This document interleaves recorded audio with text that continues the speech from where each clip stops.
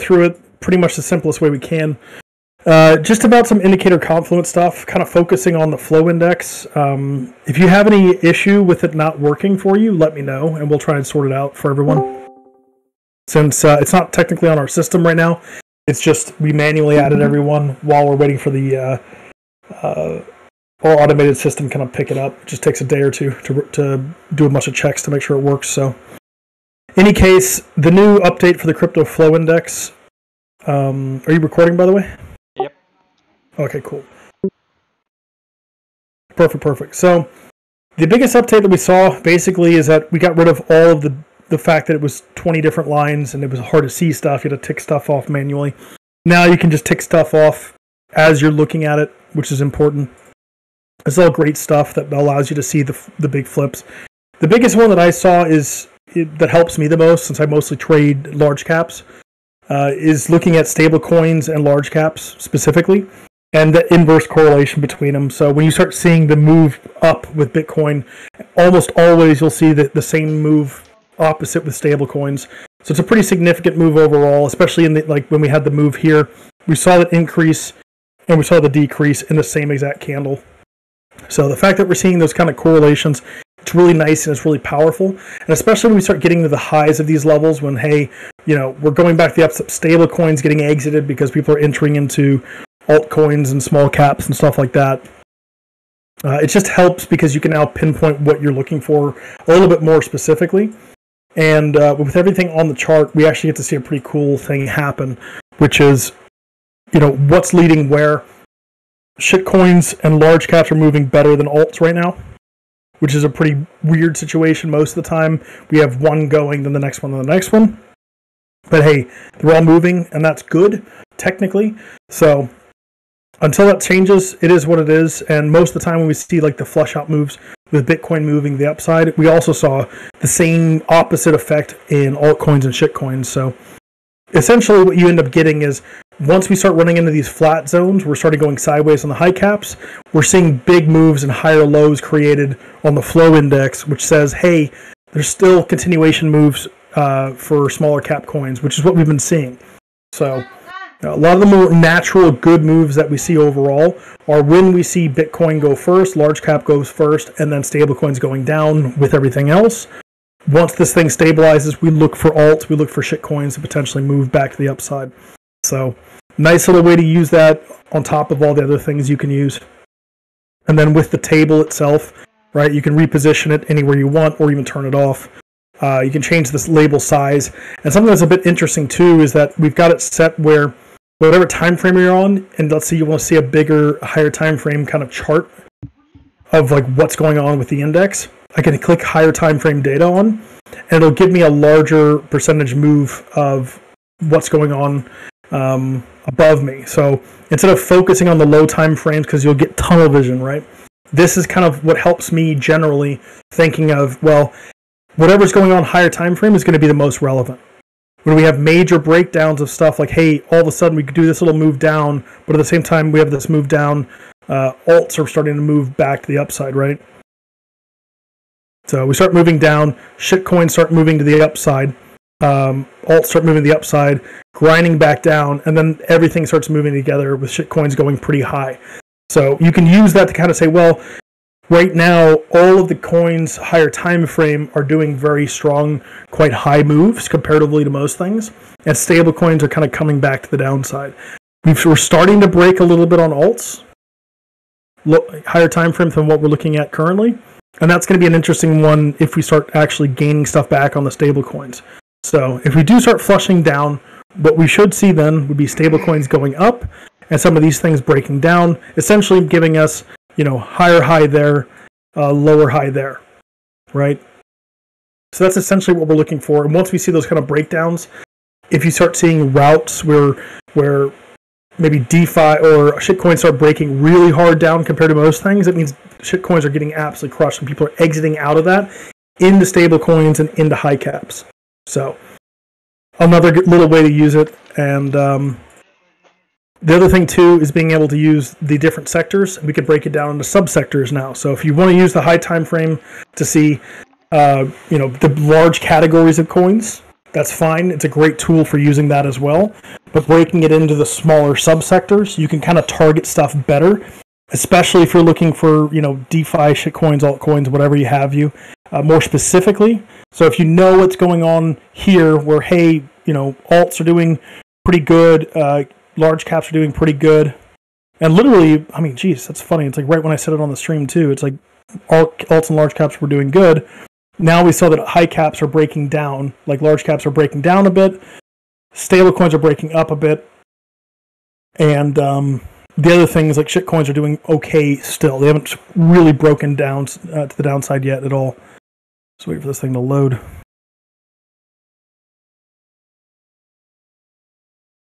Maybe we can go in a higher time frame.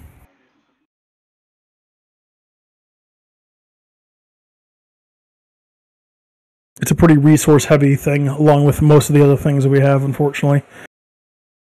And I think that's mostly because it's what's it called? There we go. Can you guys see that? It's AI, huh? it's AI. Yeah. Well, we couldn't change the flow score thing, so the one that has the highest move on the top because it was it was wrecking the table and it was changing too much stuff. So unfortunately, it's still just you know alphabetical order. But um, even here, we, we can ch- we can change it now to where maybe we have the neutral color as yellow. So essentially, what we get is uh, the stoplight system, where we see things that are kind of like a heat map of like green good, you know, starting to turn orange and red bad essentially, which I like. It's a pretty easy system to use. But even now, what are we seeing that's doing very well? Meme coins leading the charge. Looking at Doge and stuff, Doge is up 4% on the day. Uh, SHIB is up, you know, it's okay, like 1.5%. But that's a pretty good tell overall that it's doing that kind of high end move compared to most things. On the other hand, we have things like sports tokens, which are lagging compared to everything else uh, significantly. So memes are doing great, smart contracts are doing great, AI is still doing decent, gaming decent. So when we start seeing a breakdown, we want to see start shorting things that are going to be doing worse than other things. With meme doing quite significantly good upsides and has been over the kind of market cycle we've had, you'd want to see things that have been doing quite poorly overall. So one thing we can look to kind of ex- to, to split these up is kind of select things that you're mostly interested in. So AI is going to be an interesting one. Um, we'll turn memes on, metaverse off, NFT off, privacy off, um, sports tokens off, exchange. Yeah, we'll leave that. Those those actually we'll leave dexes on because dexes are interesting. So what we're seeing now is a little bit better disparity in the different kind of stuff that we have. So even though the you could change the colors as well, but everything's moving quite well together. When we see the major differences in some of these more specific ones, because these are easier to target, in my opinion, stuff like FET, some you know other AI tokens, when they start breaking the upside, breaking away, you know here as we see that, that FET and AI tokens broke away from the rest of the pack, they're going to be doing significantly better if we have move, moves back into the market up to the upside. So even now, everything's relatively in the same spot, same roundabout flow score. Uh, Dex is an exchange. Dex is doing the worst out of the group. So when stuff starts breaking back down and we start losing price, and we start flipping through our different subsectors, we want to start targeting the stuff that's losing levels the fastest. Um, that'll kind of give you an indication of what's the best short in the continuation move down. So a lot of good th- tools to use with that. Um, changing the colors, turning everything off and on. Pretty simple stuff, really. Um, it's mostly just ease of use to kind of you know make things easy to handle. Uh, what's the correlation? What that mean? So correlation is is based on general market correlation. So because the large caps control most of the dominance, their correlation is going to be quite high. Stable coins are basically an inverse correlation of the market, right? So if the if the market's going up, stable coins are going down because people are entering into the market. Things that are not correlating as much, which means that if the market starts moving down and their correlation score is down, they're going to be less viable um, as options because they're not trading the same as everything else. They're, they're outliers. So you want things that have like high correlation scores or higher and things that are moving together you know, at the end of the day, I think flow score is the most important because it shows the flow of money into different things compared to other things. So when you're actually looking at the correlation, that's going to be kind of like if you have two things with the same flow score, and markets are moving up, but one thing has a higher correlation than the other, you pick the thing that has the higher correlation because it's going to be more uh, more often than not trading with the rest of the market. So, in se- in a sense, it's general correlation to price going up. That means that stable coins are going, uh, you know, and so people are exiting into st- or eh, leaving stable coins. So stable coin flow is down. Essentially, it's the same as, you know, our our uh, what do you call it? Our stable coin Supply. what- yeah, the retail stablecoin demand. So the fact that we have like in a very similar sense, we're seeing here that price go lower. It's like if I put this back on, you know, not inverted, it looks very very similar, right? So it's just kind of like a double mm-hmm. confirmation. But now we're able to see demand in other things as well, large caps, altcoins, that type of thing. So pretty helpful, I believe, overall.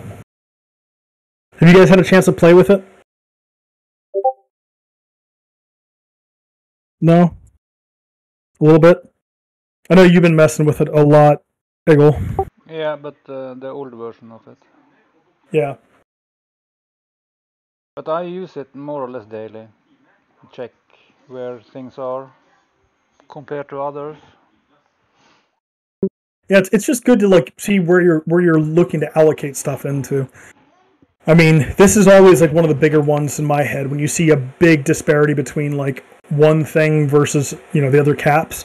When everything's kind of trading together, that means the market's generally up and stablecoin demand's regularly regu- relatively down. Um, then we start bringing other things into it, right? We can turn that off and just leave like the oscillator.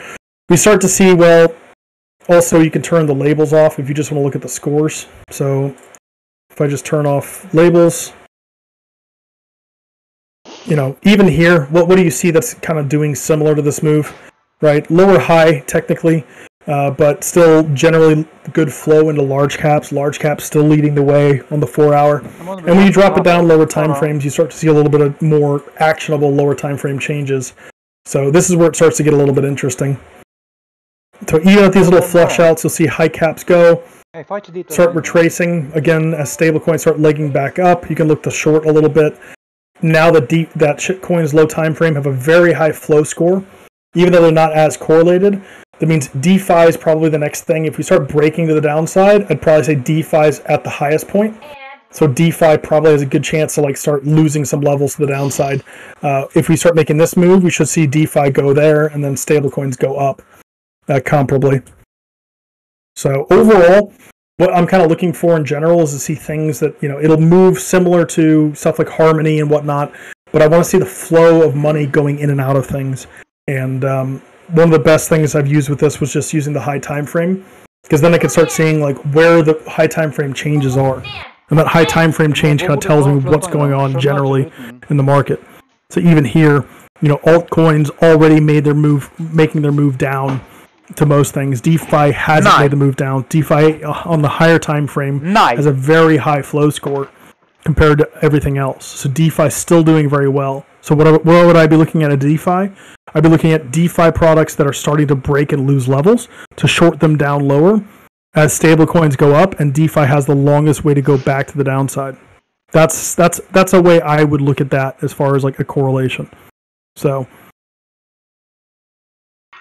yeah, and even now it looks pretty decent. But um, yeah, the funding also, interestingly enough, with the Shanghai update, and this was something I wanted to mention, but I didn't really go into it. Uh, ETH is the blue line here on the funding. ETH is very, very rarely uh, changing. It's usually a very flat line comparatively to most things. So even in the last upside move, we saw a lot of bearish ETH funding.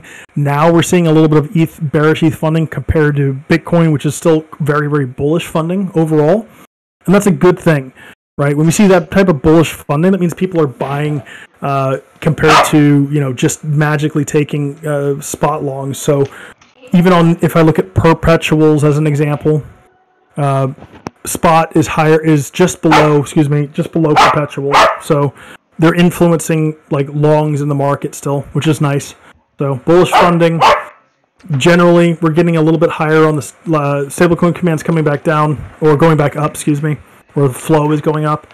So lower time frame, you could see a little bit of failure, right, as we come back down. And then what would do, be the most effective if we start losing levels? Just look at DeFi, but you wait for the break, and that kind of tells you what's going on. So the other part of this stuff is like confirmation tools with the rest of the indicators that we have, and kind of focusing on the price action part of it. So let's see here. Put the volume blocks on. One of the best things we can do, especially because now again I'm looking at a higher time frame. I've got a higher time frame on flow ticked on, so we're seeing you know the four hour essentially. We're on the one hour. We're seeing the four hour flow. Four hour flow is still very high. What are we seeing on the price? Price is still moving to the upside. Starting to see a little bit of toppiness on trend, which is the thicker line on harmony. Bullish funding still in. We've still set a, a you know, major move of the upside since we had some bearish deviation or bearish. Um, uh, what is it called? Bearish divergence, and now we saw some bullish divergence. Now we're moving back to the upside. We're starting to see that we're kind of at a top, not quite breaking it yet on the four hour. And if we drop it down on the flow, we're starting to see that we're starting to break down a little bit. See? So we're starting to break down a little bit, uh, a little bit. So it's going to be important using this kind of information to say, well, what are we actually doing? Well, we're at the height of this range, right? We know that price action says we need to test stuff above us. What are we testing here? Well, we're testing the high closes around the one hour, around the 15 minute stuff around 30.29, 30.3 and this is kind of the high structure. If we start breaking some, you know, lower time frame lows, we can kind of assume that the flow is starting to change more significantly, and then that stable coin kind of move back up, goes to its peak. So usually, if that starts moving up, which it is, right, stablecoin is moving back up right now. You're looking to, for potentially shorting it back to the downside, uh, and if it does have the continuation, stablecoin then needs to drop down and make uh, on the flow needs to make new lows, and we have a continuation move here uh, on the harmony indicator. But um, again, the way we're using this all together essentially is saying, well, we know that stablecoin flow is down. We know that DeFi is up. That all high caps right are down a little bit from their highs. So what do we want to see? It's still continuing until we break something. What's a local break? Breaking something like 31.8 right? We start breaking some structure, then we start seeing some failures, then we start seeing some more moves back up on stablecoin, and, and they start crossing over, and then we see the failure back to the downside. So again, using some simple price action stuff of gain loss of level, flow, we wait for the levels to confirm that we're breaking them. If you try to short this now, you're essentially shorting in an upside move. The priority is still technically up, the trend is still up, everything is still going to the upside right? So if you're in the longs from from what we had earlier, you know, yesterday and, and stuff, talking about these lows, the regain level, you're fine, you're safe, take some profit. But if you're looking for failures, what are the things we're looking at? Well, we're at the high of the range, right? This is still technically resistance. We're starting to see some breakdown. We're starting to see some higher moves on the stablecoin flow, but we haven't lost any levels yet. What do you want to see the confirmation? You lose some local levels. Until that happens, the trend is up. So when you start seeing that reversal, you say, hey, I want to look at that level, right click on it, add an alert on that ray. Once it breaks it, then I come back to it. Until then, until something starts reversing, the price is going to go up. So we can play this stuff on lower time frames as well. And it gets it gets more interesting, of course, but at the end of the day, the lower time frame plays are always going to be more of a, um, I don't know, I guess uh, a lot more dangerous than anything else. We've done some stuff. I haven't really used the flow on the low time frame. I don't even know if you can. Um, but generally, stuff like this, you know, just looking at this of the oscillator. Again, stable coins very bottomed, and we're on the one minute. Oscillators topped out. We're breaking into sideways structure to the upside. So what do we look for? We look for the potential failure here to come back down to test stuff. And that's what you see. You see the stablecoin starting to drop, that's starting to drop. So you look for the short back down to test structure. and then you reassess. If you gain back that level that you're failing at, that's the invalidation. And that's all you're doing is going to play these levels invalidation to invalidation.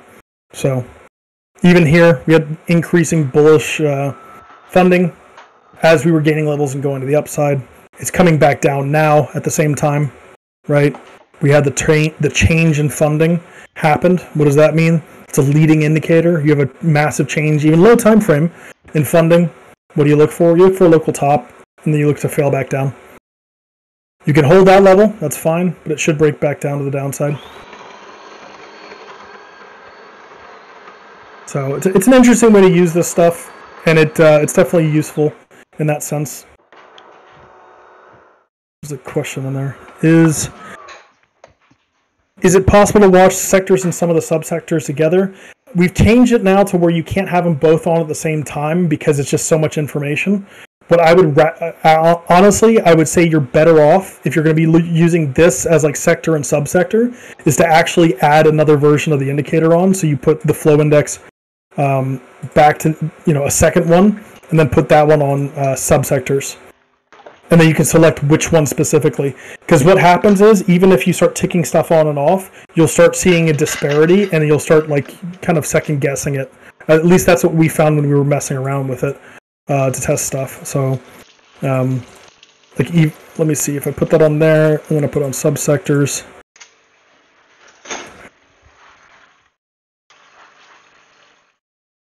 So stuff like that. So you can see that like the dexes and all these things are being hurt. Yeah, stable dropped fast.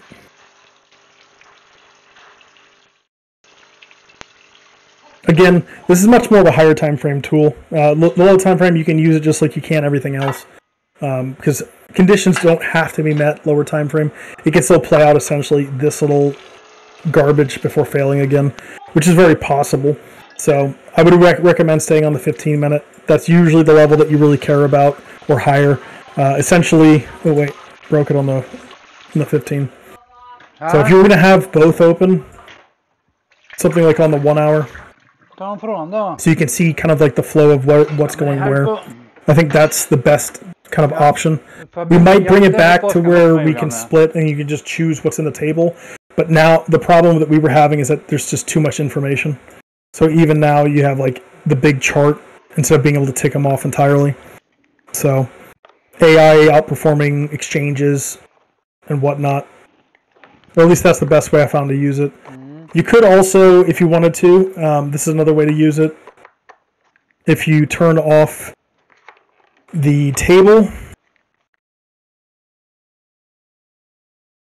and the labels,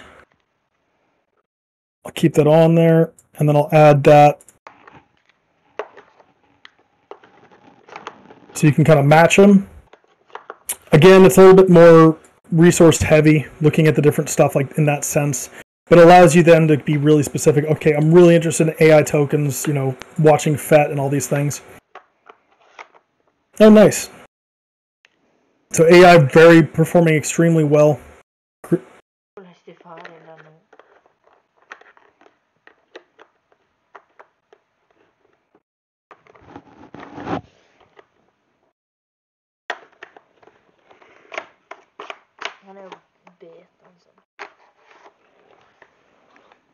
Var en tom, sant? Cool beans. So yeah, AI is still performing very well compared to most things. Uh, alts and shitcoins still lagging comparatively. And uh, even large caps not performing as well, even though we're having a little bit of a breakout move here. Up into like 30.4, so that's cool. And then we can use that stuff lower time frame as well. Again, this is why you don't trade the one minute, right? What do we see? That would have been the gain.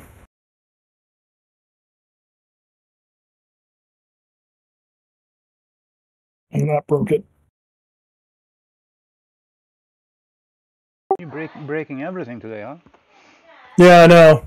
That's I'm, I'm running a couple of things on the site at the same time, so it's my own fault. so even here on like the one on the 15 minute, um, You know, you've got altcoins that are being severely outperformed by everything else. Uh, Bitcoin and everything else going up significantly better than most things. Stablecoins are going back down. Shitcoins and DeFi breaking heavily to the downside. So this is a big, this is a pretty heavy large cap move compared to most things. As shitcoins, DeFi, and stables all going down. So this could, uh, well, it's still breaking out. We still could see the the continuation move higher if we start getting some tests into this stuff. Again, simple price action stuff. We'll be looking for swing level test that's the level to gain above. Bricks is back into some bigger structure. If this thing starts going sideways now, we want to see things like uh, altcoins start to improve and do a little bit better. Because they're essentially being left alone, uh, not really catching a lot of these moves compared to most things.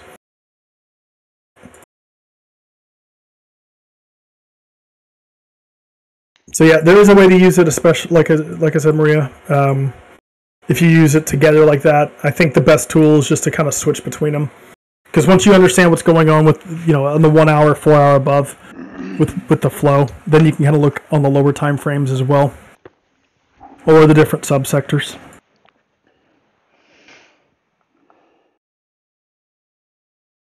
Yep, and this is largely flow uh, driven by by large caps, even on the one hour.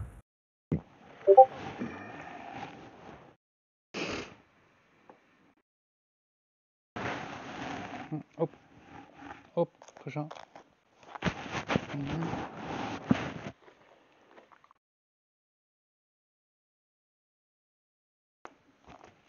Nice, everything's moving up. Yeah, alt season is starting. Alt season starting? Yeah, you heard it here first.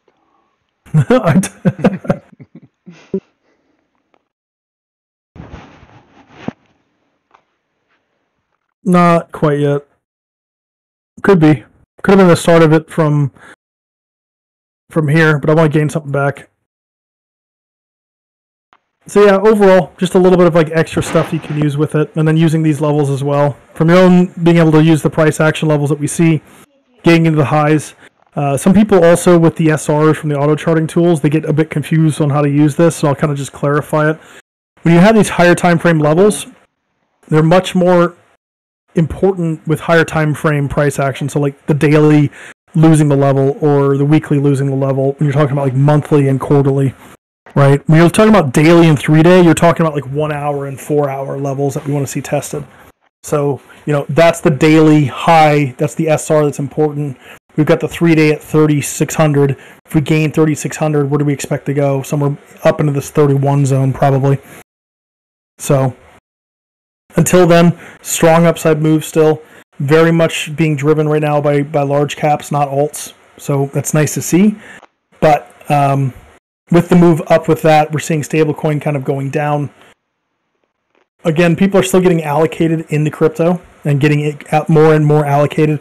And if we don't make highs, or even if we make new highs and close back below in the same candle, what does that tell you?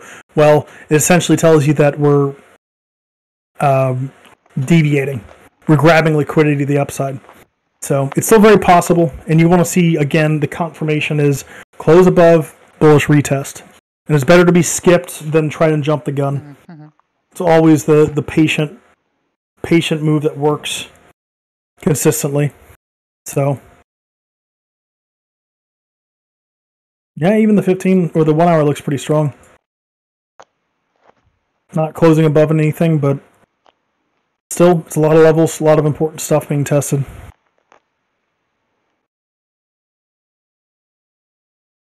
Essentially, all we're trying to do here is kind of use Confluence as a tool, right? As long as we have the Confluence to say, like, well, we're doing this, this, and this, we've got several levels of Confluence, and at the end of the day, it's gaining or losing levels, right? Is it gaining it, or is it testing it bearishly? That's the question. Currently, it's testing it bearishly. It's testing the structure of these highs that we created bearishly, right? If it closes above, creating new high level closes, and then bullishly back tests, that's what we care about. Until then, you're in the range. You look to short the highs and long the lows until you're proven otherwise. And gaining above, right, and bullishly back testing, that's that's gain a level. And this is what, why we have the confluence. Because the more and more we use this, the easier it becomes. Oh, we're at the lows of the level, and then at the same time, we're doing bullish deviations down to the lows, and we're doing higher lows. Like, you know, there's your sign, essentially. What about at the highs of this structure here? Starting to get some yellow dots, some yellow dots. Are we losing levels, price action levels? No, not yet. Uh, we go to the upside, we start failing, and then we see that stable coins going up uh, or going going up, and all the caps are going down essentially that's all we're seeing is kind of like the flow of money in and out of the different sectors. So it's pretty easy to use in that sense. You can kind of just swap between the two or three of them. And then liquidity, of course, which the big thing there being we've got a lot of liquidity uh, stacked right below uh, below us, much much much more than above us. So if we do start breaking down, there are some arguments that we should start sweeping some lows. Uh, something that a lot of people haven't used in a while as well is the the bands. And I'll be honest, I don't use it that much myself, except for the higher time frame stuff. But again, what do we generally see?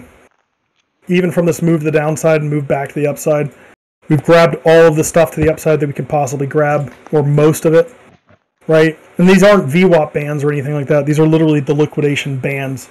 Um, what are we getting into? We're getting into the high stuff that we've grabbed. Lots of 10x major short liquidity in all of the overall structure. So if you're trying to take positions, understand that they're wrecking 10x shorts, even or 10x longs. Even though we see we usually feel pretty confident with those. So that's a pretty big deal. The fact that we usually do these 10x moves up, like we grab 10x, sometimes we grab the 5x moves up before we're going back to the downside. So we're quite overextended generally. And when we come back to center, if we're in a bullish uptrend, you'll see that kind of like center line being held. And if we start breaking it back to the downside, that's usually we have the retracement back down to sweep the lower liquidity. So we're still in the upside move, still potentially grabbing some liquidity. Is there a lot more to grab? Higher time frame? Uh, I'm not really sure and we can use it on a lower time frame as well. It just you have to use it as a per time frame like correlation. Uh, we're grabbing even like the five x's on like the one hour. We're grabbing the ten, you know, the the the ten x's on like the hourly candle. The four hours the sweet spot in my mind to use this thing, and you can use it on most things to see liquidation levels. So we have these upside sharp moves, you're looking for failures just because it's a matter of liquidity, and that's what the market does. Wherever there is liquidity, the price will always gravitate towards it. So if we start sweeping back to the downside now, where do we kind of target? 26, maybe even breaking down to 21.5. And if they want to be really mean and grab a lot of liquidity, they go down to 23 and they grab all the 5x longs and wreck everything going back to mid March if they want to start wrecking it. So it's always going to be mindful of where the liquidity is. The liquidity is generally the direction of travel for the market most of the time.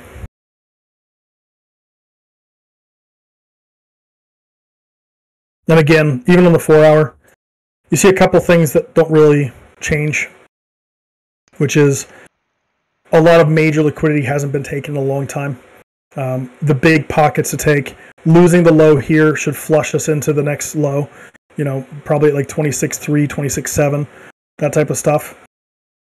So once we get back into this zone, what ha- what's the next move down? You flush all the 10x longs that were built up since mid March.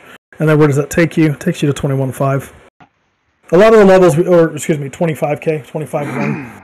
So a lot of these levels, there's a lot of overlap and correlation, and the big overlap levels are where you have pockets of the same liquidity in the same space, and that's mm-hmm. generally where you go to to to essentially gain or lose liquidity.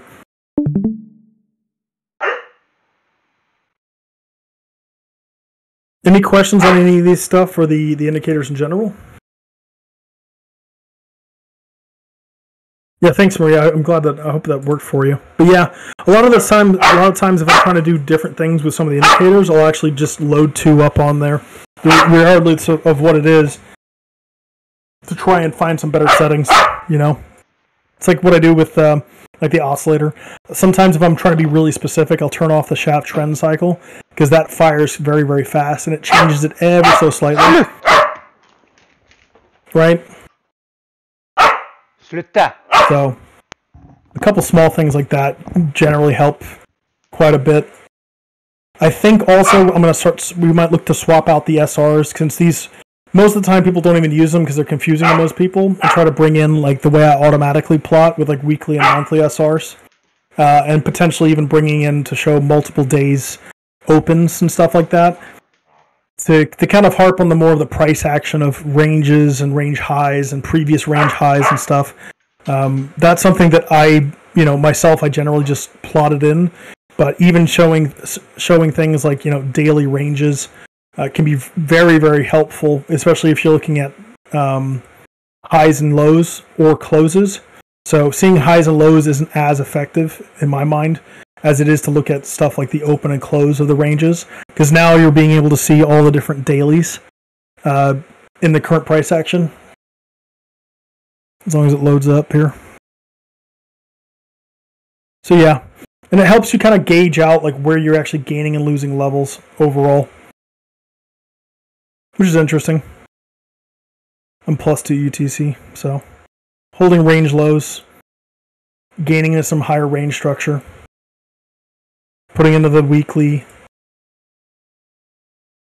Let's see.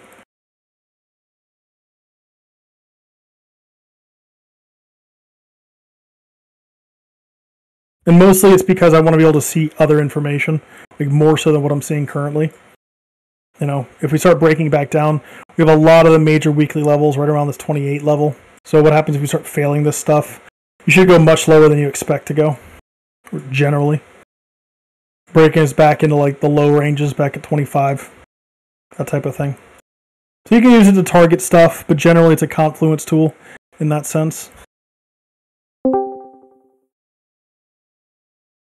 It allows you also to see the, the different open and closes of previous daily and weekly candles, which are very, very often targeted.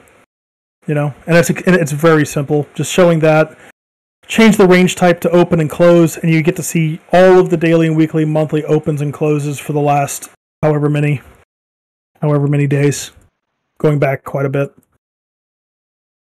So it's a pretty effective tool in that sense.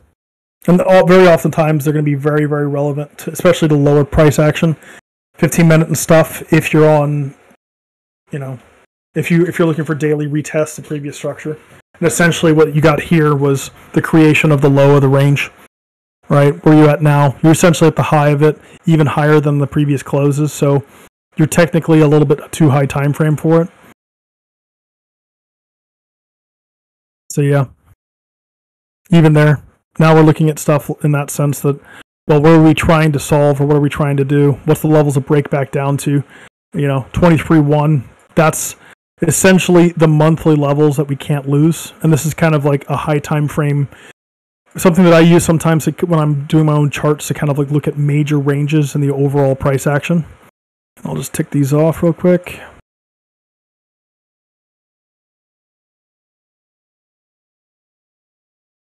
So now I'm getting like monthly ranges for structure. That's so important because it, now it allows me to see like what the major levels are if we break down. You know, if we break down from here, where do we have to hold 23.1? right? Why, why was the gain back in January such a significant gain? Well, because you're gaining back all of like the pre FTX November trash and gaining back those highs that became like, you know, essentially the resistance to support line higher time frame. So, you know, with a lot of these things, you end up getting, you know, the important levels macro on the chart. If we break back to the downside, we want to see holds of like that 28 level, 28.5. Why? What happens if we start breaking under this uh, going in into this structure, well, we start failing. And if we start failing back down, like let's say worst case right now, we do a Bart Simpson, just straight down, close onto this level, onto the structure. What else do we know? Well, we also know things like liquidations. We also know that there's a lot of liquidity here and a lot of liquidity at 25k. So if we know these things, what can we say what we don't want to lose? Well, even if we sweep all of this trash and do a major down move, something like what we did back in, you know, uh, beginning of March, what do we not want to lose? The 23-1. This is why this has become like the most important level if we break back down. Because if we start losing that, we're losing a monthly range. And um, it's significant enough to be like two. So it's not just that. It was also like the January close. It was also like the uh, the fe- what is it? The April. Was it the March? I'm on the wrong level. There we go. Yeah, is that over there at the beginning of March? So again, 23-1, important level, and um, it really just helps me kind of spot that stuff high time frame. Definitely, definitely worth it to check them out, play around with them a little bit more, spend a couple hours, and if you find good strategies, feel free to sh- ask, share, test them out, and see what works. You know, essentially, what we're trying to do is just build a system um, where people can just, you know, plug and play, switch between different things as quickly as possible. And uh, the best way to do that is just by sharing the different information you get. This thing is just sending. Go. Approximately one half of our clinicians Hold on one sec. LGBTQ plus or bi. I asked ChatGPT to build a. I asked ChatGPT to build a. It picked some crazy points, like some of them I've not even heard of myself. Any questions on stuff? And I know sometimes you'll get the errors because some of these indicators are very, you know, resource heavy. which also But great, great fuck ton of money. But obviously, no promises. Essentially, what we were trying to do too is just see the confluence of the different stuff. And uh, the crayons have been quite helpful for me, just looking at local levels too. But even the bands, you know, where we at? We're at the high of this range. We're at the high of this kind of stabilizing point, and it's um, generally pretty helpful as far as like breakdown of structure. We start breaking down what's below us, previous range levels, back into these band structure. So there's a lot you can do with it. There's a lot of ways you can use it to effectively. You know, even now, what do we have? Really high bullish volume. What does that mean? That means that if we if the next candle comes down below it, that means all of these longs are essentially wrecked because that's where the majority of the volume that's in control is going. You know, anytime you have major green candles and then a following bad candle, that's usually a, tra- a conditional move down, uh, just because you, you see that kind of like change in the in the demand for it. So, still looking good though. Still, higher time frame is always the place to be. Essentially, what I want to do myself is I don't mind getting chopped out some of these smaller moves, especially if I put like the ATR filter on and stuff. Even for like the botting. Um, essentially, all I care about is making sure I gain all these major moves, which is what it's catching right now. So I know it's a lot of stuff, and it's it's kind of overwhelming when you start getting into like all the different resources, all the different things you can do with the indicators. You know, all the different customizations you can do yourself. But essentially, what you get in is the more you mess with them, the more you find like really what works compared to most other things, right? And um, and that's really all we're trying to do is see like what. Like even here, I just broke both of them because it's too much to load for it right now.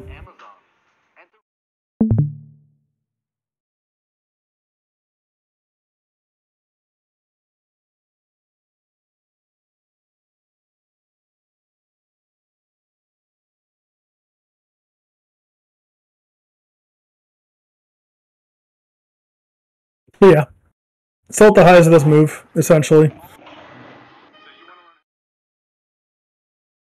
Cherries are only connected. What's my weight based on my face? Oh, what are you doing over there? Kilograms. I'm American. I don't know what that means. I'll ask Siri. It's fine. 91 kilograms. Okay. Hey Siri. Damn. What's my weight based? Who is Essentially, large caps and stables. That's usually what I just run myself.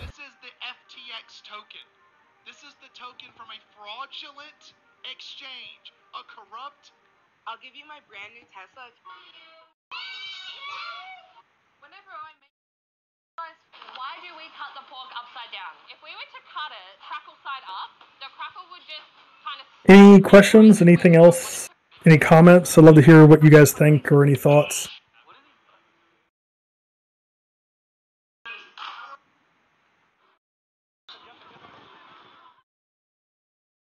Yes, no, all happy. Gucci, Gucci, Gucci. Gucci Gucci. So yeah. Also, I mean, a couple things to kind of keep in mind with these, with this. I gotta reset this.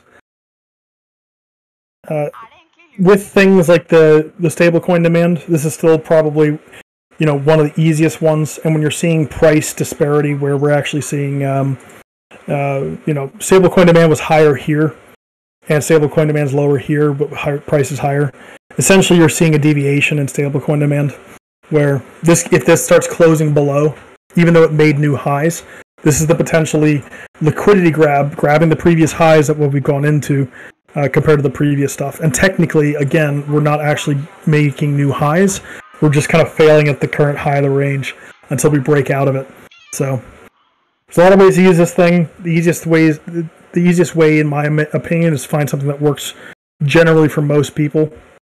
And when we start failing stuff, you know, the bands have become more and more a tool that I use lower time frame to scalp. Uh, you know, that type of stuff. Using those kind of liquidity grabs, lower time frame on the core signals as well.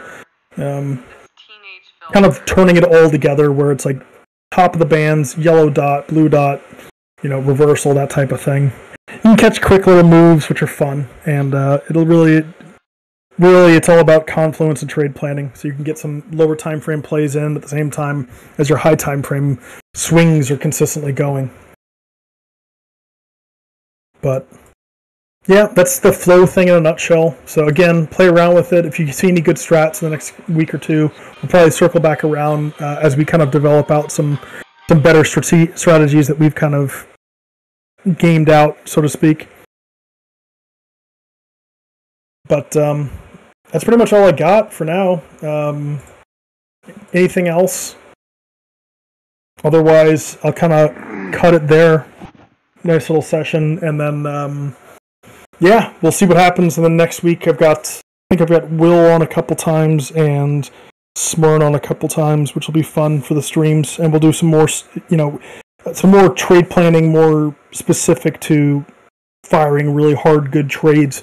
How to how to really spot, you know, the big stuff.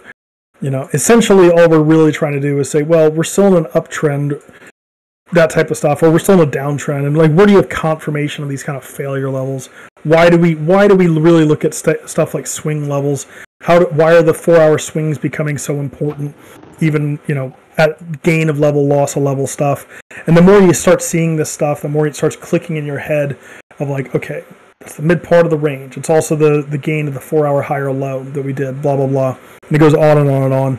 So we'll go through it and we'll we'll continue to build out more stuff. Also, we're still working on the other indicator, uh, the MDVD. It's still going to be a little bit. We're we're trying to tighten up the way it displays the data. What's that one? Um, That's that's uh that's the multi-dimensional volume delta. So oh yeah, yeah, the, the like the our version of VPR. It's like VRVP but session volume, and you can actually see the reversal of order flow by volume. So you can it's not order flow as an indicator because you can't. That's way too much data to bring onto TradingView, but you can essentially see where the flow of money changes, and when you see the peaks and levels, you'll see that where where you know bulls capitulate or where bears capitulate, which is yeah, yeah, it, it, Yeah. yeah, it's uh, it's a little bit crazy to be to be honest. We're we're just trying to refine the way it pr- presents the data, and then how we can put it in as alerts, like for changing changing flow of data. Essentially, we won't be able to put that in as like, hey, you know, the four hour order flow just got dom, even though it's making new highs. Uh, four hour order flow was just completely overtaken by, uh, you know, if it's an upside move like it is now, and then we see massive shorts come in that overtake the majority of like the block of longs. Essentially, that's the order flow saying um, that the people who are in longs above us are trapped. And if you trap enough people in positions, that creates fuel to the fire of like going up or down pretty hard. Yeah, there's a lot of stuff coming. Um, there is one thing you can um, touch on. Uh, I had some of the other guys ask me about liquidation levels earlier. Why Mhm. why they are different on different time frames? You mean like, these? Like five? No, the yeah the lines the they are different on like five minute to one hour, four hour. They're they're slightly different.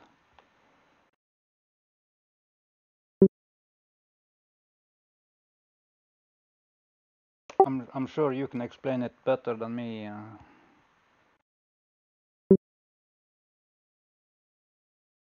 Yeah, so the thing with the liquidations is that you're showing the daily liquidation on data. And some of the times, some of the candles in lower time frame, they appear a bit different based off of liquidations. So, like the liquidation levels, as an example, on like the five minute, and let me see if I can even get it to load on like the three minute or something like that. I've never used liquidations on low time frame just because it pulls daily liquidation levels and monthly liquidation levels. So the, the bit of disparity that you're seeing is only because there are multiple levels that pull in. So it changes the data ever so slightly so it matches on what's going on on the chart. So it's not like it's an incorrect show of the liquidation data. It's essentially just showing you a bit more accurately on lower time frames. So when you see the lower time frame reversals, like if you're in a range, you start crabbing, and then you see the 100x and the 50x. Usually, you look to see which one you know is the major buyback, and then that's the continuation for that move. Or like here, you're breaking into some high time frame liquidations. You want to see if you start seeing the reversal to come back to the downside. But as far as the disparity, the disparity between the liquidation levels on high to low time frame, I haven't really noticed it. And if I is it is it significant or is it how many Uh, is it It's a, it's a, it's a few dollar, yeah. how many? What do you mean a few dollar? Like one or two? Um, When I checked earlier, it was like 20 dollar between one and four, and then more down to the 15 and five. Well, I'll have to look at that because if it's that much and if it starts really dis- making a disparity, then I need to start. We need to do a change on it. We haven't looked at that, the code on it in a while, but let me double check it. You're pr- def- you're probably yeah, you're definitely right. It says it is slightly different for different ones. So thanks for bringing that to the attention. I hadn't noticed it. Oh, it's thanks to Ronster. He's the one that picked it up. Yeah, that's a good call. No, I, I, yeah. Again, this is not, in my opinion, the liquidation levels. Like again, the low time frames are for plebs. It's not for trading. It's you know one hour for me has always been pretty effective, but I'll have to look into So it. what time frame do you use for liquidation? Not to to see One hour, one one hour to four hour. Yeah, okay. Yeah, Even if you trade on like 15 minute, you you Yeah, but, you plot the I mean- on the one hour. Yeah. But even then, I don't ever really trade on the fifteen minute anymore. Yeah, I I know, but we have a lot of people that do that. So. Yeah, it's just it's not it's just not safe. It's just like there's no point to it. It's like I don't know. I, I wish uh, everyone would just take my advice that like Will and I always say is like start at the four hour and go from there because like the lower time frames are not your friends because if everyone does the same thing on the low time frames, right? I could be on the one minute and like even here I was like, oh, we're breaking the upside. We should come back and retest stuff. Why? Because you get tunnel vision looking at the local price action charts. But what you really end up seeing is stuff like, oh, well, what have we done on the one minute? Well, we've done this. We've gained the higher low of that range, which is great. We've retested the high of it. Every level that we're testing is testing bullishly. What do we not want to lose now? Right? We don't want to lose like this structure, essentially. Right?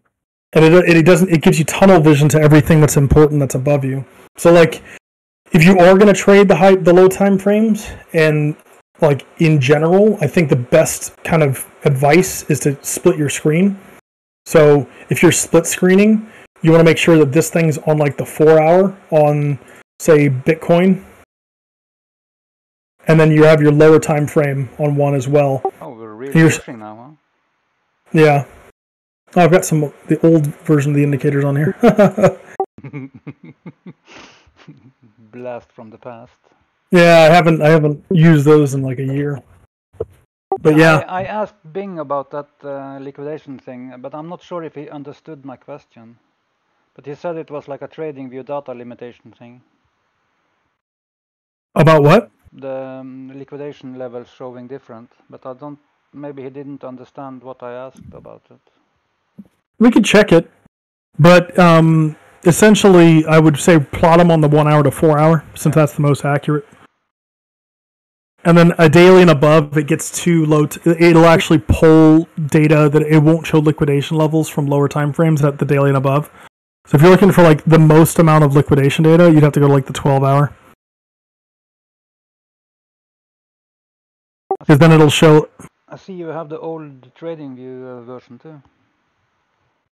They did some Oh, stupid update now. It's so annoyed. what? So like the- on the app or what? Yeah, no, on both the web and, and app. The auto down in the corner, you know the one that you click to reset the chart? Yeah. They took it away.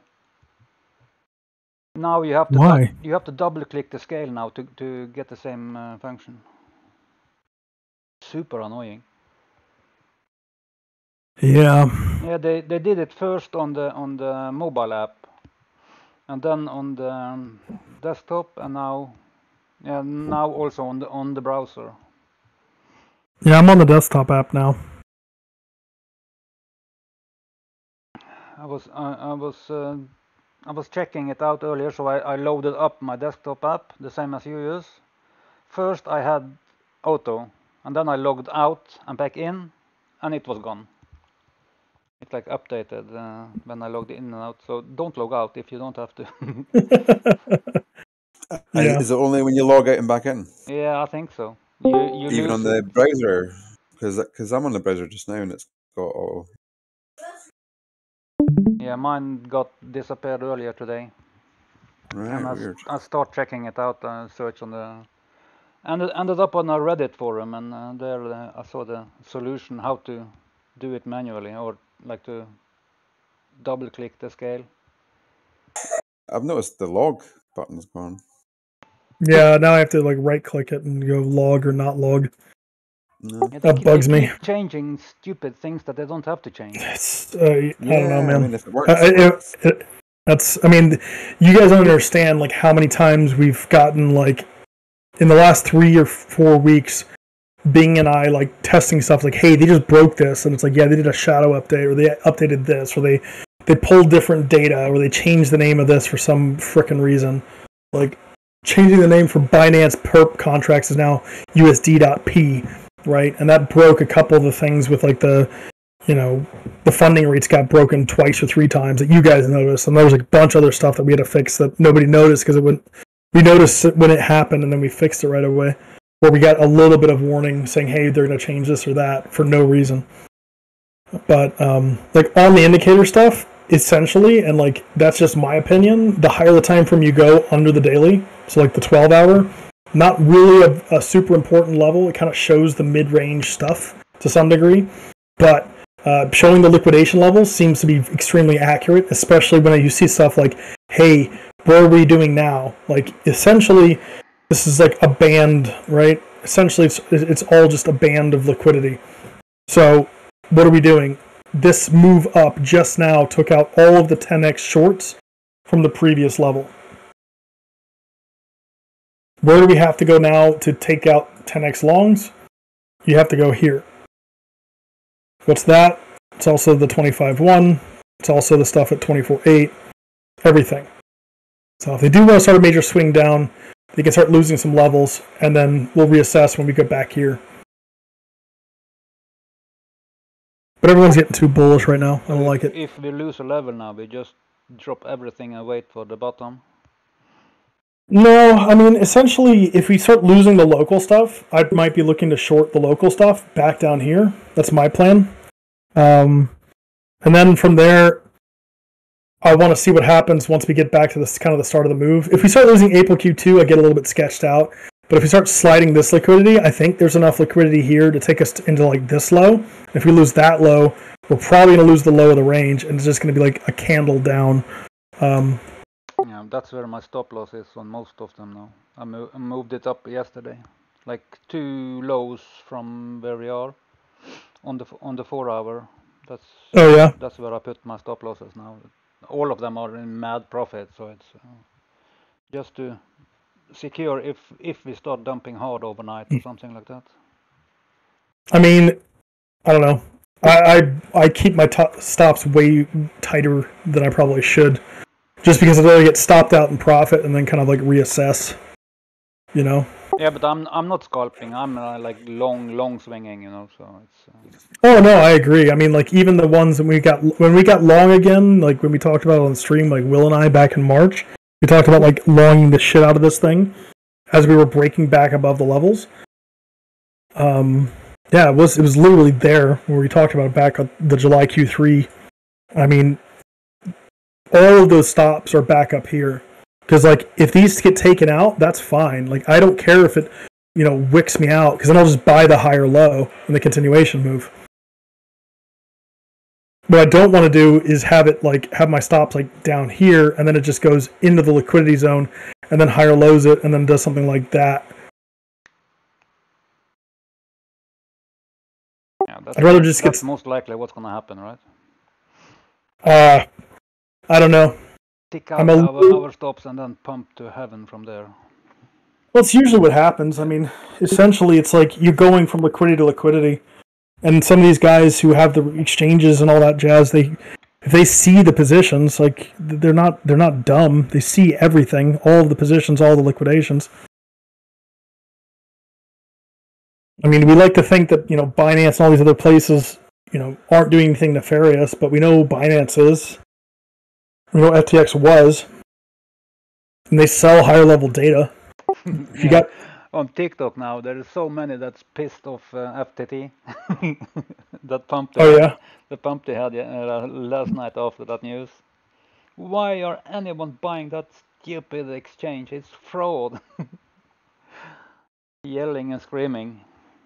And that's generally what it is, right? Yeah, I don't understand why it's even allowed to trade with it. You know. It's gambling, really.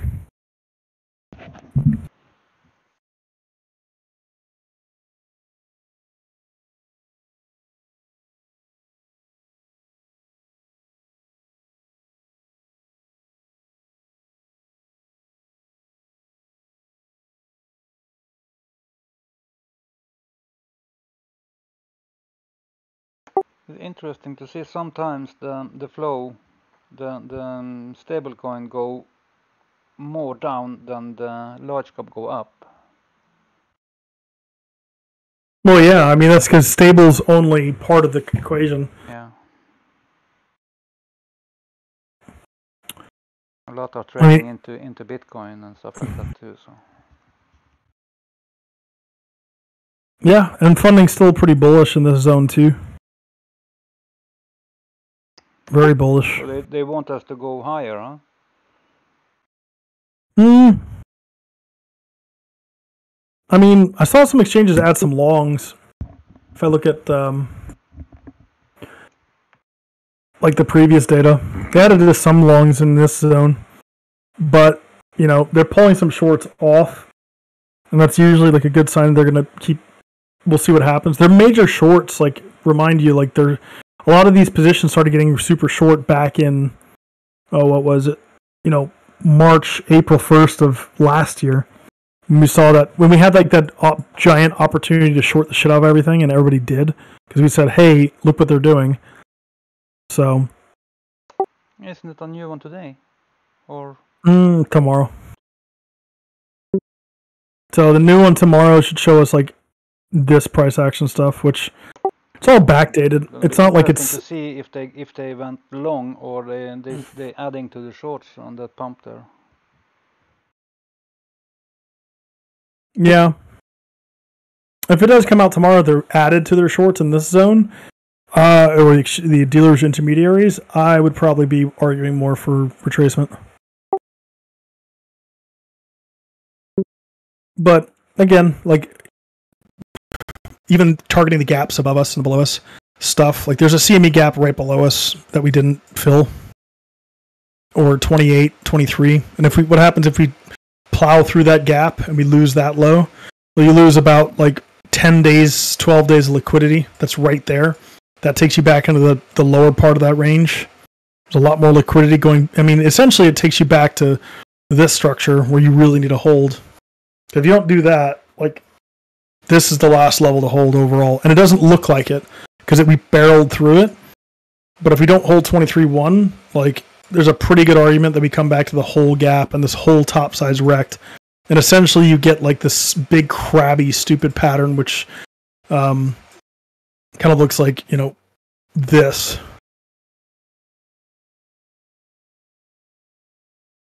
and then the whole thing starts over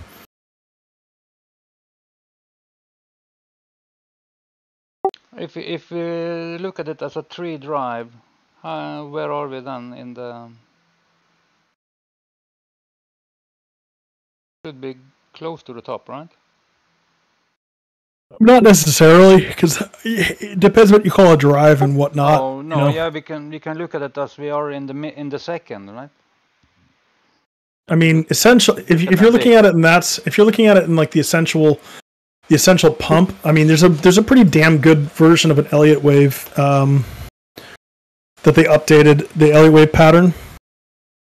Uh, it's a pretty damn good one, and it generally plays out if you're going to do the Elliott wave stuff. Like, I'm not a big Elliott wave guy at all, but generally, when we get to the ends of these like upside moves, the expansions are pretty decent, and like when we actually get the retracements it's auto plotting the the potential retracement from the high. So we were thinking about doing one like this, but it's essentially like you know, I don't trade Elliott patterns, but I will use them at like the end of moves or start of moves to kind of gauge what's going on. And a lot of times you get a lot of hindsight confirmation. But when you have stuff like this where we're showing, you know, five and then you had the the correction. Let me see if I can do one better. I mean, everything's showing that this is the last little blow off wave potentially, even on the Elliott wave stuff, which I'm not a huge fan of it in general, anyways. But the fact that that's all saying the same thing, that's like this drive up, should probably be the end of this little expansion move. Eh, you know, it's essentially it's taking us back to where we want to go and potentially back to where we we we don't want to go you know back into this stuff and oops there we go. If you look at like the higher time frame stuff there's some good arguments for coming back down to like 25 1 again it's a 0.5 retracement from the current high to the low if we were to do it. So the more the more the same levels kind of like repeat over in my head the more i start thinking about different levels based off of like what they're going to do. And when I see stuff like that, it's like again we see the exact level of 25-1 playing out. If we start breaking down structure, um, and this is like the three day, essentially, then I just look for higher level confirmation of stuff. And if we're doing the ABC correction, this is like the start of the one, and then we do the two, and then we do like the three, which is like the summer expansion essentially and then we have like the four, which is the really bad winter potentially, and then the five, which runs us flat going into the halvening in early of next year at like a weekly level. See if the BLX gives us a better one. No, it's essentially the same. I mean, even even the monthly chart, if you're looking at that from like the highest time frame, is essentially doing the ABC, which it's not super helpful like I like I said. But it does give us some good points to say like, well, we're getting near the end of it, near the end of the move. I think locally. What happened Doesn't to mean that, ha- uh, that Elliott guy, the Elliott wave guy we had? Oh, um, I don't know. He kind of dropped off. He got wrecked out because he was trading only Elliott waves and not. Um, he, but he was also doing like listen Gann to anyone else than, than what he was doing. Huh? Yeah, God, I haven't talked to him. It was like over a year, or a year and a half. But Yeah, he gave us Uh, some decent charts uh, every now and then, you know. So Yeah. No, but the problem was it's like a lot of these guys they start going down the rabbit hole because like they get really obsessed with the Elliott wave theory. It's like, well, it's provable right every single time. It's like yes and no. Most of the time, the Elliott wave data that comes out because if it was really just a cheat sheet that you could trade indefinitely, you'd you'd only trade that and forget everything else. And like that's kind of like the problem I have with it. And and most of it is like it's all hindsight because it's really easy to look to the left and be like, well, we did this, but now it's like, well, what's the, what are we doing now, and why is that relevant? Like, why is that important? And that's where like the use of the theory comes into play, which is, well, we've got you know from the daily time frame down to the four hour, we're doing a wave five expansion move. We're potentially doing, uh, you know, double topping. It's not really double top. It's like two days of difference, so it doesn't really matter. But where can we look at for potential retracement moves down? You know, sweeping back down to like the 0.5, or maybe even the start of the move to the 618 you know lower time frame these levels kind of like they line up quite a bit with a lot of other price action stuff right So it's never going to be perfect, but a lot of people will use this kind of calculation because when you when you get into Elliott wave, the whole different retracement calculations, you can actually quantify it by a percentage of probability.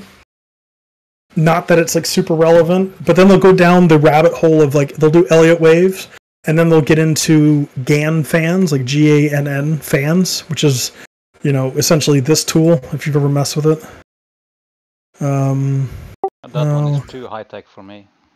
It's not. I mean, like it's just dumb. Like it's Yeah, not. It's like, uh, but trying to draw them manually is like crazy. Yeah, it's like so. So basically, you pick top points and bottom points, like start of move highs compared. Like they they'll get into the Gann fan stuff. Like this is the way, you know. It's it'll do this because of this expansion and da da da. And, and then you have to put another one so you get like squares and stuff like Yeah. So then you get yeah. So then you get like the the fib like the the fib wedges and stuff like that, and like it's just a bunch of nonsense. It's like there's this guy who does like on YouTube who does really really pretty circles of different price action movement, doing like you know all of these things, fib resistance arcs and stuff, and it's like none of this shit it means anything. Like it doesn't actually do anything. It, it's not like people actually use it, but it doesn't actually give you like Gann boxes, Gann square fix and stuff like that.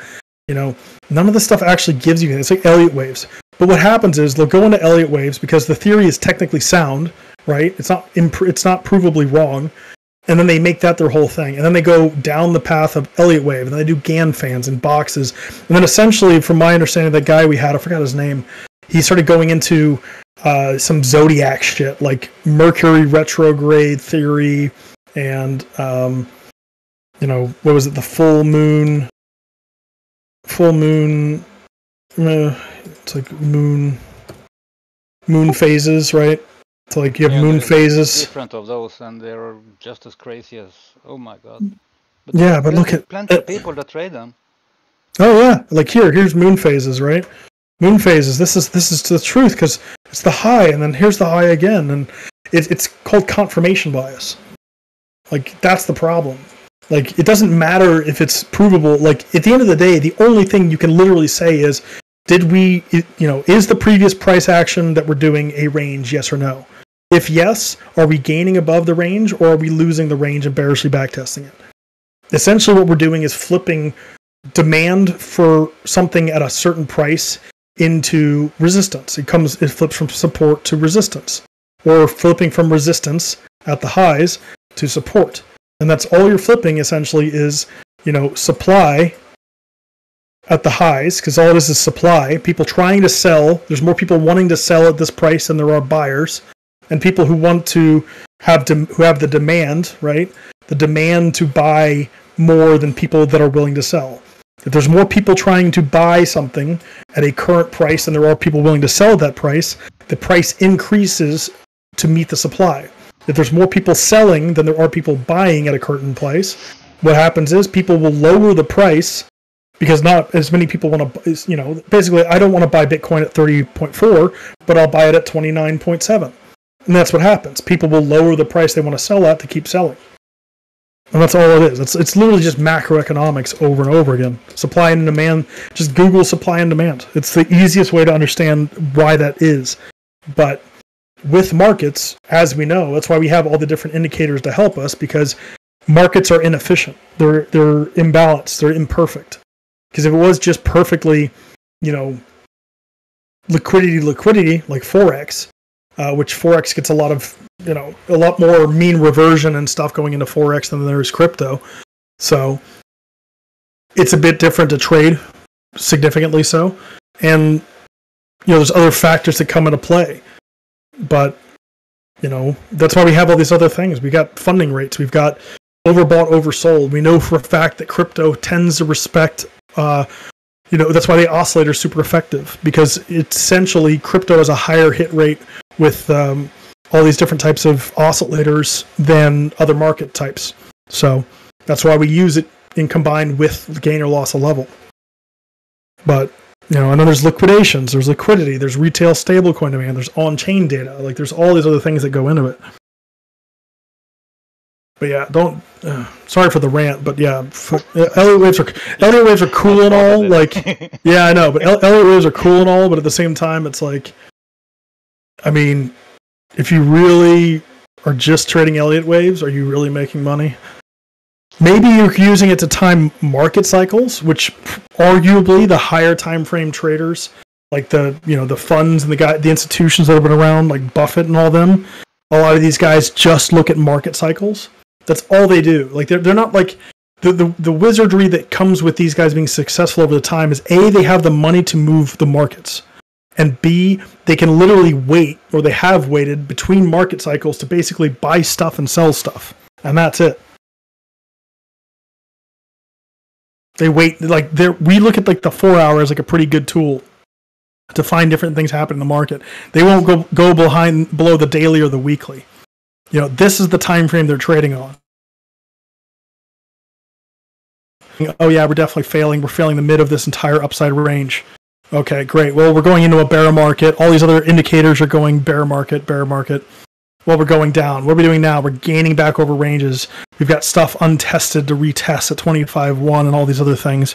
So, essentially, what you do is if you play at a high time frame and you look at the high time frames, it's not really hard to see what's going on. It's like we're in a massive upside drive.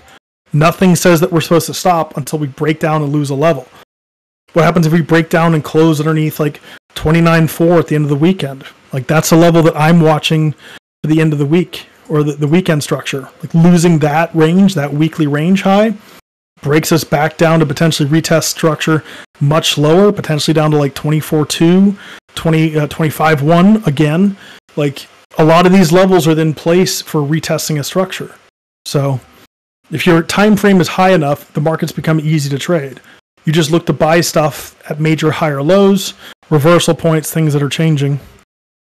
But essentially, we're still technically in a bear market, even though we're now breaking into bull market summer lows.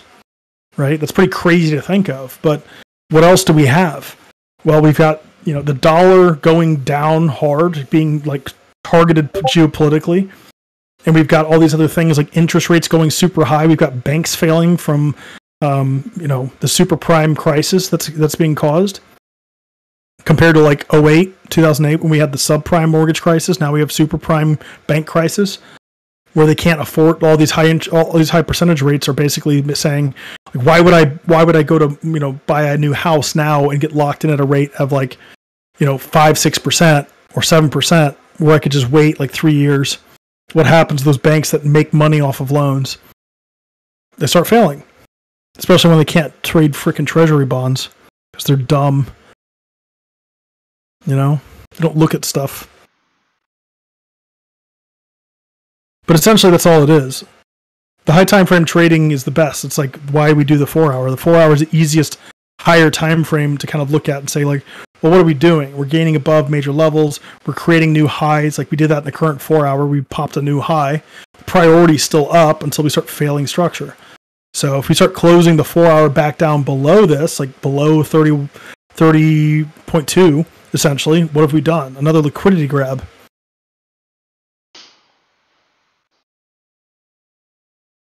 But yeah, that's enough of me ranting, I think.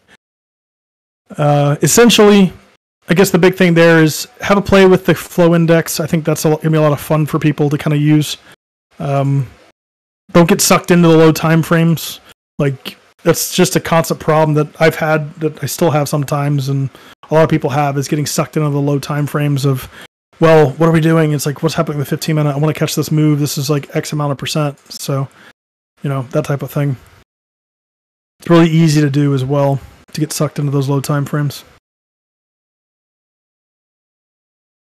But yeah, I think that's it. I'm gonna get out of here. I got a couple things I gotta do around the house. Um, any other questions? Anything pressing? Comments? Egil, anybody? No, I think it's okay. Uh, what should I call this uh, recording?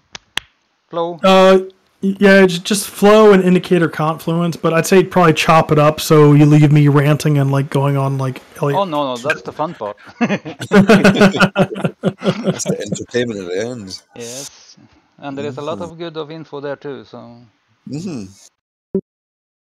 Yeah. Well, thanks. It's yeah. Essentially, what we're trying to do is just trying to find the important stuff that matters. And if it was really easy enough, I could just say, "Well, turn this on and just use you know use your brain of like, hey, that's the swing," you know, that type of stuff. Or there's the swing above us. That's important. It just gets a little bit easier and easier over time. Yeah, practice make perfect. Huh? Yeah, it's just. I mean, it, it's a time thing. It's a, you know, a, a friend of mine who's like he always said like you know you you only learn through doing. This isn't something you can read a book on. You can't just watch YouTube videos. It's like you, even if you're grading on the lowest amount of exposure, which you probably should, stick your ass in the four hour. Trade like one percent of your total account or less on zero leverage or like the lowest leverage you can if you're trying to short and then and then get to the point where emotionally profits and losses don't mean shit to you and then start expanding from there and that's like the hardest thing to do because everybody wants to make the money Learning from your mistakes. is one of the Yeah. yeah and then, and And I, if if you're gonna watch YouTube, watch the fireside recordings, of course. Yeah. yeah don't yeah just i mean like Nothing else matters. Well, some some of these people, man, it's like I get so mad that people like I think they're going to come after BitBoy and some of the other people pretty hard eventually because essentially what they've done is criminal. I mean, Is he is he still Yeah. still sending? Oh yeah, yeah, yeah, I think so. I haven't seen him. Like, There's a there's a, a YouTube attorney that I watch. I'm sure he was investigating him. I mean, yeah, he streams he streams to like forty thousand people every day. It's mental. I mean, and this guy has no idea how to trade. Absolutely zero idea how to trade. He's never posted a single good trade system, trade setup, talked about TA. All he shits does is in. shill. Co- all he does is shill coins, and it's so shield coins, He's- pumping his own bags, and then he dropped them on the poor innocent. this. And he's you know, I mean, he's worth a hundred million dollars. I mean, it's the amount of money him and. Crypto Moon make. I mean, like him and the Moon make so much money. It's it's absolutely silly. Like Moon, the Moon. Um, I think he, he's worth like three hundred mil or something like that.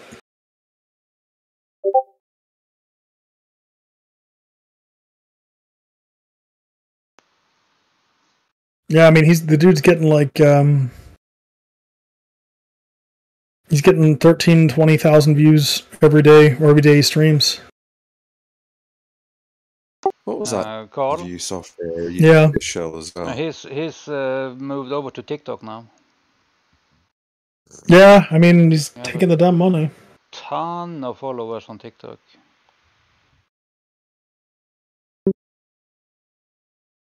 And a lot of the smaller ones uses him as like a guest. He he comes to their streams and like live trading shitcoins and stuff like that, pumping their uh, accounts too. So Just- But he's a, he's a he- he's a smart one, right? He he do it right. He's he's successful Mm. in business, you know. So he done some stupid stupid crazy mean shit, but it's it, I mean he's makes- made a, he makes makes he makes about a hundred he makes about a hundred grand a day. Roundabouts. In a bear market it's probably closer to seventy. Bull market he was making a hundred plus a day. Entirely off of referral links. He wasn't trading. None of these guys do, unfortunately. but that um the Chris guy haven't we heard much about lately, huh? Which one? The the taxi driver, MM Crypto. Uh, I haven't heard about him in a long time either. I haven't really looked. I don't. I mean, I don't follow them. So Last last I saw was he was roaming around in, in his new apartment, bragging about it, how good it was.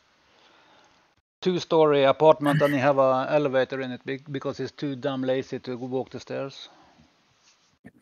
yeah, he's he's doing also the same amount as as Moon. That haven't they gone down a little bit? Yeah, but I mean, at the same time, it's like most of the money they make, they tell it's by telling people to, like cross leverage long. It was like another guy on here that streamed on TradingView. It was some I haven't seen him in a while, but it was like some dude called Enthused on TradingView was streaming, and he was he was telling people to cross leverage and put twenty percent of positions, but only if you're trading on my ref link because then he gets all the money that you he gets the value of the the trading fees, which is criminal. I don't know. I, I don't trust anyone that tells anyone who doesn't know how to trade to go high leverage with cross leverage. That's like an instant red flag for me. That says you don't care about shit. Eh, Like that means that like the people's people trading on your RefLink is your profit and not like them learning from you teaching something or telling them something or giving them access to something. Yeah, and and their follower they really don't understand it. No, I mean it's it's it's essentially just a scam. I mean, essentially it's just it's like they don't care about the churn rate, about the people. When like the the better mentality is like, well, wait a second, if we actually give them good tools, good price action, thinking about stuff rationally and logically through different price action stuff, technical analysis, fundamental analysis, and then they get better over time and they're trading bigger, bigger and larger amounts, then they'll make money more more money eventually in the long run. But none of these guys do that. Mo- well, there's a couple guys that are go- good out there, but essentially the ma- the majority of the big ones, I mean, not even the majority, all of the big ones are essentially just scammers that just essentially create content to get people to trade on their stuff and then their people their followers are their product it's an easy it's almost an easier way to trade than to do um, you know it's easier to do that than it is to actually trade which is fair i mean it's kind of shitty but it is what it is Yeah, and then they put a trend line on the chart, and when the price go over, they post a signal, huh? so make everyone go long. Cross Yeah, I mean- 20x. I mean, essentially, they just do this. They say like, "Well, this is a trend, and this is a trend." So then you do the the difference in the high, the low, the move is the breakout move of the trend line, which is like literally TA not to do 101, which everyone does. The famous measured move. Yeah, the measured measured. God damn it, it's so dumb. It is what it is, though. Unfortunately, I don't know. I think it's better to like train people up so they can actually make it. You make more. You make more over time. People do better. Everybody wins. Instead, they And just have better, losers. um, better job satisfaction as well. Well, yeah. Plus, I, I don't know how they live with themselves, man. I couldn't like fucking shilling shit coins all day long, and then like scamming people to pump your own bags. Like, how do you fucking sleep at night? In luxury, man, in luxury. Oh, That's I the feel narcissistic gross. way, isn't it? oh, I don't know. I wouldn't be able to sleep. Oh, my trend lines, my trend lines. But yeah, it was fun. It's nice. It's fun shit talking bad actors. But yeah, I'm gonna bounce now. You guys are welcome to stick around and do your own thing, but I gotta I gotta do some stuff now. Cool, cool. What, what Cheers, time's man. next uh, next fireside? This Tuesday or? It'll probably be Tuesday again. Um, I don't really think I have time. I got a bunch of things going on, real life that I gotta fix, and uh, I got family coming back over, so it's like I gotta clean and get the house in order and Oh, all this tr- in-laws, you know. yeah, need to be clean before they come, huh? Yeah, exactly. hmm I know that feeling. Yeah. Well, Alrighty, it was a really good stream today, so um, Oh, well, thanks, man. just hope the recording is okay. Um, I'm guessing it is. We shall see. Well, I'll take it. Um, I'm leaving. I'll you guys take it easy. I'll catch you guys later. All right. One and a half hour. Yeah, you might want to cut it down a bit. yeah, no, they, they they can have it all. It's good ones.